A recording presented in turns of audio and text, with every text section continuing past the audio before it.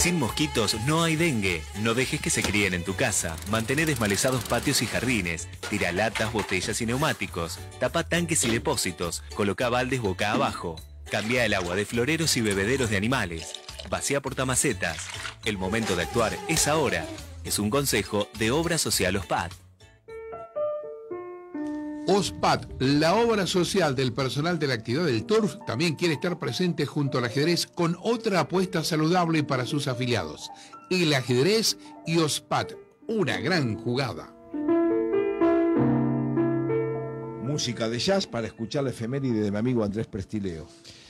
Gracias, Carlos. Bueno, te este, había contado que íbamos a hablar del gran Kirk Douglas, que el pasado 9 de diciembre habría cumplido 105 años, nada menos, y de quien hay algunas curiosidades poco conocidas, poco conocidas. Por ejemplo, que su nombre de nacimiento era Isur Danielovich Demsky. Nada que ver con que no lo sabía, no la sabía. Eh, otra, por ejemplo, que nació en Ámsterdam. Pero no la Ámsterdam, esta es una trampita de la capital de lo que hoy se llaman Países Bajos, nosotros llamábamos, decíamos Holanda, sino un pequeño pueblo del estado de Nueva York, Estados Unidos, que hoy en la actualidad tiene apenas unos 20.000 habitantes, más o menos.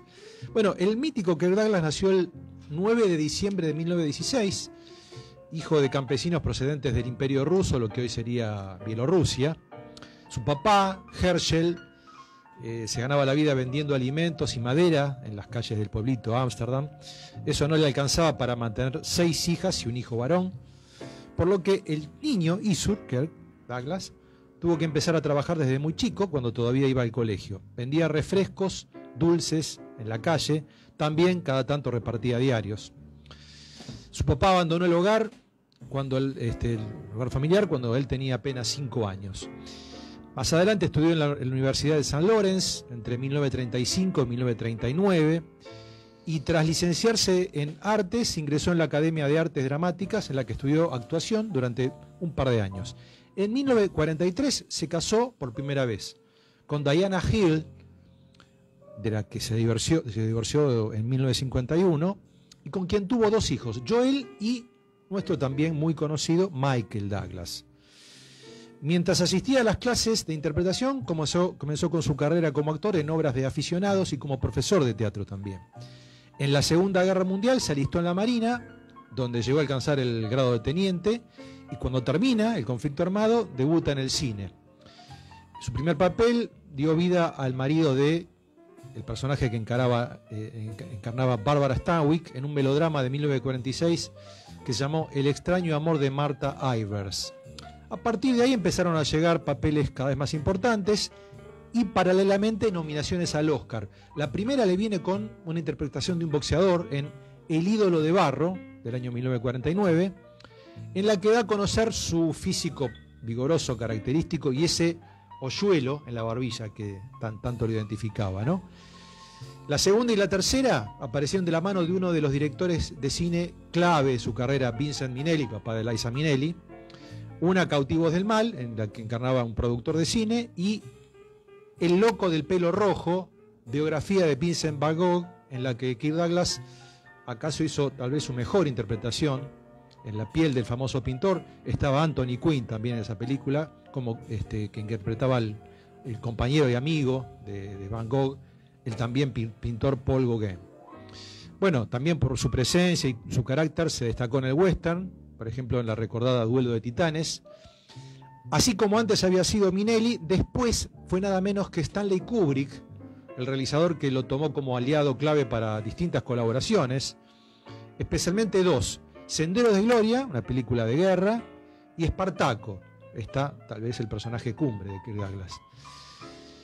Tenía una personalidad fuerte que lo llevaba a chocar muy a menudo con, con los directores. Así que en los 70 se largó por su cuenta, se arriesgó a comenzar a dirigir sus propias películas, pero no le fue tan bien en ese rubro como le había ido del otro lado de la cámara, ¿no? Era un fumador empedernido. En, los años 50 consumía en promedio tres atados diarios de cigarrillos. Lo abandonó el vicio de golpe cuando murió su papá a los 72 años por un cáncer de pulmón. Recibió la Medalla de la Libertad en manos del presidente de los Estados Unidos, la Legión de Honor de la República de Francia Y el Oscar que no consiguió en una película en particular le llegó en forma honorífica en 1996, cuando la Academia de Hollywood reconoció toda su trayectoria cinematográfica. Bueno, ¿cuál es el contacto de esta leyenda del cine con el ajedrez? Hay una hay un par, una famosa fotografía en la que se lo ve meditando una jugada, sentado ante un ajedrez de bolsillo pequeño, él a cargo de las piezas negras. Hay alguien parado enfrente de él que es su rival en ese partido, nada menos que John Wayne, el gran John Wayne, que como ya sabemos, porque lo hemos charlado aquí en otro momento, era un perseverante ajedrecista, ¿no? Esa, fue, esa foto fue tomada durante el rodaje de la película Primera Victoria, un drama bélico de 1965. Pero hay otro momento ajedrecístico en su vida, ya parte de la ficción. En la película Saturno 3, de ciencia ficción, de 1980, hay una escena en la que su personaje, mientras juega una partida con el personaje que interpretaba Farrah Fawcett Mayors, le pregunta al robot que los quiere matar ¿Sabes la diferencia entre un hombre y una máquina? El poder sacrificarse.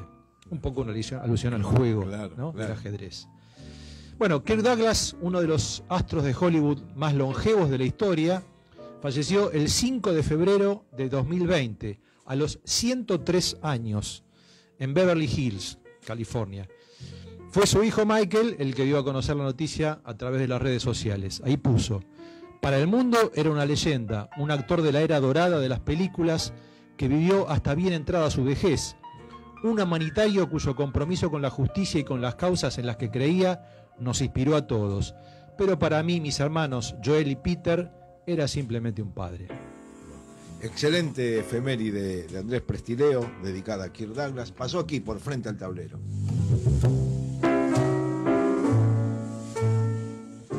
el ajedrez? Prendete. Los viernes a las 20 en Radio Cultura 979 estamos frente al tablero. Y junto a Carlos Hilardo te contamos grandes historias.